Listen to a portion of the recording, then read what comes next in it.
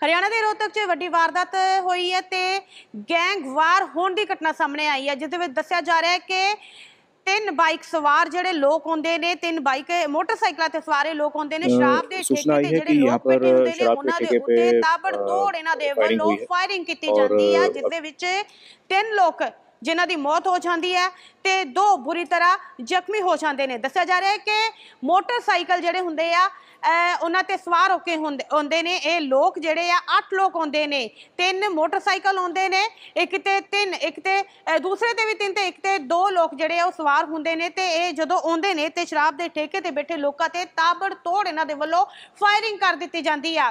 ਇਸ ਬਾਰੇ ਹੋਰ ਜਾਣਕਾਰੀ ਲਈ ਮੇਰੇ ਨਾਲ ਜੁੜੇ ਨੇ ਹਰਿਆਣਾ ਤੋਂ ਰੋਹਤਕ ਤੋਂ ਸੁਰਿੰਦਰ। ਜੀ ਸੁਰਿੰਦਰ, ਇਸ ਬਾਰੇ ਤੜਕੋ ਹੋਰ ਕੀ ਜਾਣਕਾਰੀ ਕਿ ਕਿਵੇਂ ਇਹ ਲੋਕ ਆਉਂਦੇ ਨੇ ਤੇ ਗੈਂਗ ਅਹ ਗੈਂਗਵਾਰ ਜਿਹੜੀ ਹੋਈ ਆ ਇਸ ਦੀ ਜਿਹੜੀ ਆ ਪੂਰੀ ਅਹ ਉਹਨਾਂ ਅਹ ਗੈਂਗਸਟਰ ਜਿਹੜੇ ਨੇ ਉਹਨਾਂ ਦੇ ਵੱਲੋਂ ਇਸ ਦੀ ਜਿਹੜੀ ਆ ਉਹ ਵੀ ਅਹ ਕੀਤਾ ਜਾ ਰਿਹਾ ਕਿ ਇਹਨਾਂ ਦੇ ਵੱਲੋਂ ਫਾਇਰਿੰਗ ਜਿਹੜੀ ਉਹਨਾਂ ਦੇ ਵੱਲੋਂ ਕੀਤੀ ਜਾ ਰਹੀ ਹੈ जी देखिए आपको मैं बताना चाहूंगा बीती रात को करीब दस बजे के आसपास गांव दोहर के सोनपत रोड पे एक बुनियाना मोड़ है वहाँ पे एक शराब का ठेका है वो शराब का ठेका बताया जा रहा है कि गैंगस्टर है दोहर का ही रहने वाला प्लोटरा तो उसका बताया जा रहा है और उसका भाई वहाँ पर अपने साथियों के साथ वहाँ पर शराब पी रहा था तो तीन चार लोग जो बाइक पर आए और उनको बरतावर तोड़ फायरिंग के करीब वहाँ पंद्रह सोलह राउंड जो फायरिंग के जो मिले, खोल। अभी पुलिस इस मामले में जाँच कर रही है। फ़िलहाल ये जो एक दूसरा गैंग है, राहुल बाबा, उसकी इसकी जिम्मेवारी ली है।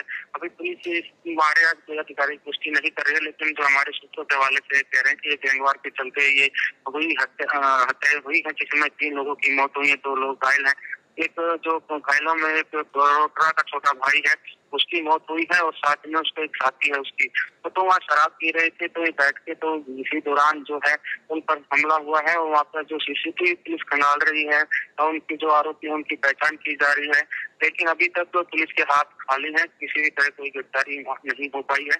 अ, सवाल ये उठता है कि जिस तरह से अभी चुनाव जो है चलते तो जगह जगह पुलिस के ज़बरदस्त नाकेबंदी की हुई है पैरामिलिट्री फोर्सेस लगाई हुई है। तो इस तरह जो बदमाश है, वारदात को अंजाम देकर फराज होते हैं पुलिस अब तक उनको बारे में कोई शराब नहीं लगवा गई है। जो घायल है उनमें बता रहे हैं कि जो मरने वाले तीनों के तीनों गाँव भोर के रहने वाले हैं और एक घायल थी भोर का रहने वाले हैं। सारे जो है गाँव भोर के रहने वाले हैं। एक जो कारिंदा था, वो यूपी का रहने वाला, फ़िलहाल वो आर्यनगर जो रोहतक में रहता है, उसको भी पैर में गोली लगी है।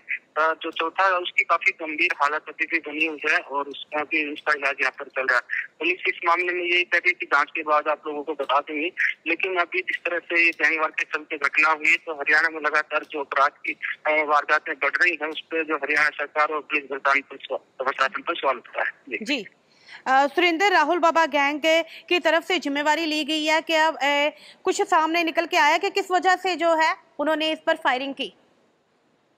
जी देखिए दो हज़ार उन्नीस का ये बताया जा रहा है कि उसमें कुछ जो है रोटरा गैंग की तरफ़ से एक हत्या की गई थी उस हत्या का बदला लेने के लिए इस तरह की वारदात को अंजाम दिया फ़िलहाल पुलिस जाँच में क्या बताती है कि देखने वाली बात होगी, लेकिन बड़ी बात बात ये हुआ है कि जो दो गैंग के बीच जो रंजिश है, उसके चलते, गैंगवार के चलते हत्याएँ हुई जी। ਧੰਨਵਾਦ ਸੁਰਿੰਦਰ, ਹੋਰ ਜਾਣਕਾਰੀ ਲਈ ਜੁੜੇ ਰਹਾਂਗੇ। ਤੁਹਾਡੇ ਨਾਲ ਅਸੀਂ ਮੇਰੇ ਸਹਿਯੋਗੀ ਰੋਹਤਕ ਤੋਂ ਸੁਰਿੰਦਰ, ਜਿਨ੍ਹਾਂ ਨੇ ਪੂਰੀ ਜਾਣਕਾਰੀ ਦਿੱਤੀ ਕਿ ਕਿਵੇਂ ਗੈਂਗਵਾਰ ਜਿਹੜੀ ਹੋਈ ਆ ਕਿ ਮੋਟਰਸਾਈਕਲ ਤੇ ਸਵਾਰ ਹੋ ਕੇ ਆਉਂਦੇ ਨੇ ਲੋਕ, ਸ਼ਰਾਬ ਦੇ ਠੇਕੇ ਤੇ ਬੈਠੇ ਜਿਹੜੇ ਲੋਕ ਹੁੰਦੇ, ਉਹਨਾਂ ਤੇ ਫਾਇਰਿੰਗ ਕਰ ਦਿੰਦੇ ਨੇ ਤੇ ਤਿੰਨ ਲੋਕ ਉਸ ਦੇ ਵਿੱਚ ਮਾਰੇ ਜਾਂਦੇ ਨੇ ਤੇ ਇੱਕ ਬੁਰੀ ਤਰ੍ਹਾਂ ਦੋ ਲੋਕ ਜਿਹੜੇ ਆ ਉਸ ਦੇ ਵਿੱਚ ਜ਼ਖਮੀ ਹੋ ਜਾਂਦੇ ਨੇ। ਗੈਂਗਵਾਰ ਹੋਈ ਆ, ਰੋਹਤਕ ਤੋਂ ਵੱਡੀ ਖਬਰ ਜਿਹੜੀ ਆ, ਵੱਡੀ ਵਾਰਦਾਤ ਸਾਹਮਣੇ ਆਈ ਆ।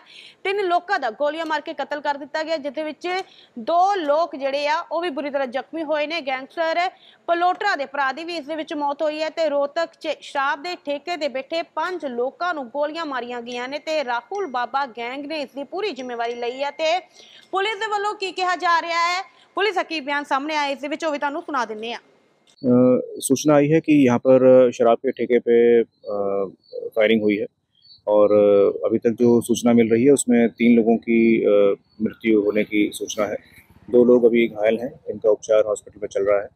तो मैंने भी अभी मौके का निरीक्षण किया है। यहाँ पर अभी क्लियर नहीं है कितने लोग फायरिंग करने आए थे, लेकिन हाँ तीन से चार लोग बताए जा रहे हैं कि फायरिंग करने आए थे। और उनका क्या नाम है और क्या उनका उद्देश्य है, वो सारी उसके बारे में अभी पड़ताल की जा रही है। और सारी पुलिस अलर्ट है इस समय और हम कोशिश करेंगे कि जल्दी से जल्दी शूटर्स को हम पकड़ें भी और इनका हम सख्त सख्त कार्रवाई कानून के तहत करें। सर, मरने वाले कहाँ थे? अभी देखना बाकी है क्योंकि तो बहुत प्रारंभिक जानकारी आ रही है तो अभी कंप्लीट जानकारी जैसी आएगी आपको शेयर करें सर प्रारंभिक सूचना गैंग का कुछ मामला?